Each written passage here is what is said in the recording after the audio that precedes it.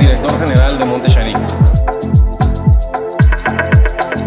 pues lo que quisimos lograr aquí con esta nueva imagen es eh, simplemente eh, reemplazar a la etiqueta vieja bajo un tema muy innovador.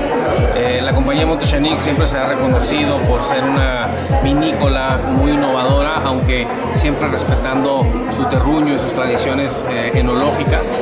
en este caso estamos ahora con un nuevo icono, con un nuevo logo que ahora habla muy bien de todos estos temas innovadores eh, de nuestra industria particularmente de todas nuestras etiquetas. Entonces tenemos 14 etiquetas, eh, son cuatro líneas, todas ellas son intervenidas con este nuevo diseño.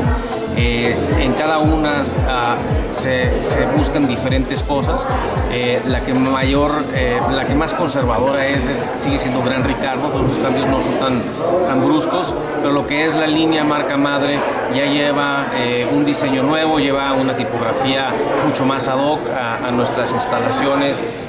este, lleva también lo que es eh, un, tema de, lo que es bodega vitivinícola, que lo que queremos decir con esto es que todo nuestro producto está garantizado y está producido dentro de la bodega, eh, además que eh, viene todo de parte de nuestro torruño o además es controlada ¿no? por parte de Montechanic en caso de ser comprada.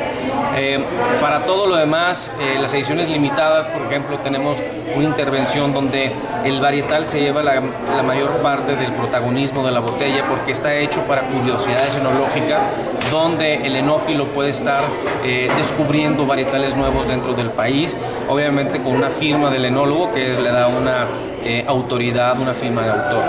Y en el tema de Kalisha, que ya es, es nuestra segunda etiqueta, eh, es un, está hecho para a los millennials, ¿no? a la gente joven, a la gente, este, las nuevas generaciones que quieren aprender de vino.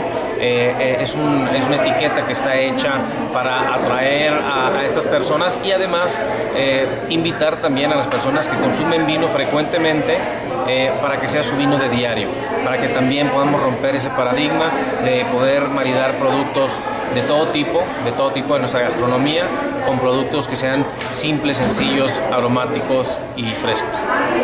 Les recomiendo muchísimo explorar los vinos mexicanos. Somos una eh, industria muy innovadora, una industria que tiene mucho potencial, mucho futuro. Eh, realmente los vinos mexicanos están rompiendo muchos paradigmas y este, podemos empezar a ver que ya empiezan a tener éxito no nomás a nivel nacional, sino que a nivel internacional y, este, y esto lo vamos a lograr todos como un equipo y, gracias a la preferencia del consumidor mexicano.